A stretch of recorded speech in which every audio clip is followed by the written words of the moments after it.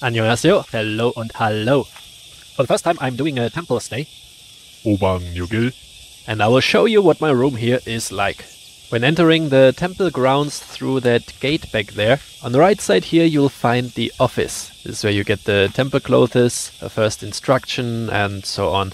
And then right across is the building in which I am lodging. Down there, that's me, and up there is my room. In front of the house is this little bell pavilion. Very pretty, but maybe something for another day. For now, I'm gonna be on my way to the room. As you can hear, I'm in the heart of nature. Birds, insects, snakes, frogs. I've never experienced it in this intensity before in Korea. It is unbelievable. Indeed, lies Golgulsa somewhere in the middle of nowhere, close to the east coast. The next bigger city nearby is Gyeongju, approximately a 30 minutes drive away. Up, up, up, up, up the stairs we go. Here in the back you can see this little appendix with a blue roof. That's a common laundry. Inside is the washing machine, and outside you have the clothes lines.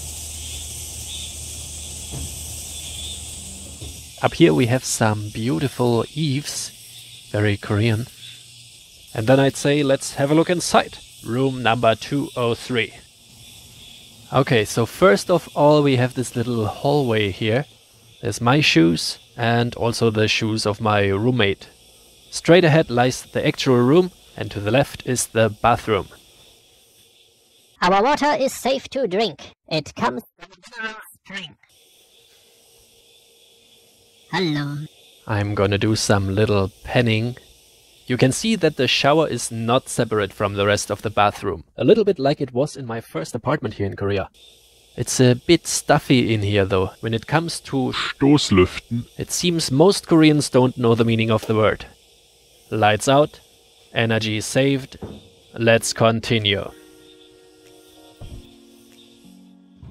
Alrighty. Right in front of us is my bed, my area.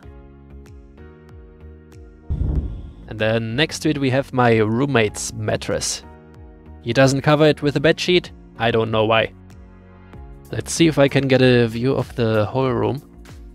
Just a moment. Alright. Okay. As you can see, my roommate, a Korean guy in his 20s, I would say, has his part of the room over there. I am lying over here, so it's roughly 50 50. And then there's the shared space with entrance area, refrigerator, and the demilitarized zone between our beds. Here in the front, as mentioned a moment ago, the fridge. However, you're not supposed to bring any external food, so there's basically only the refilled water bottles in here. The pouch with my dirt clothes, right above it, my temple vest and my towels. And then over there, all my other stuff. The daily schedule, which was given to me when checking in. All the things from my little suitcase, my nightgown, and the bed, if you can even call it that. It's basically this kind of mattress, same as over there, rather thin. So if you push down with a little bit of force, you can feel the floor through it. I received this bedsheet when checking in, just like the pillow and its cover, and the blanket as it is. So yeah, all in all I sleep quite well on it actually. I wouldn't mind if it was slightly longer though, because my feet are more or less on their own during the night. But that's alright. This is the window which opens to the front. Let's open it and have a look. Again, typically Korean with hanji, Korean paper. Then a must have in the second layer, the mosquito window screen. And finally, the outer layer locked with a spoon and acrylic on the outside, probably for improved insulation.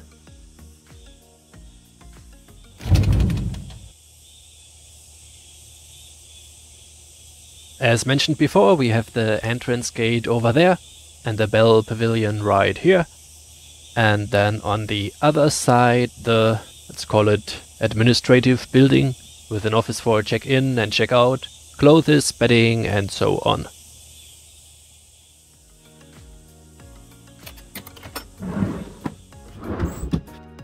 a little bit more of my roommate's area. He has his own little coat rack there and another window.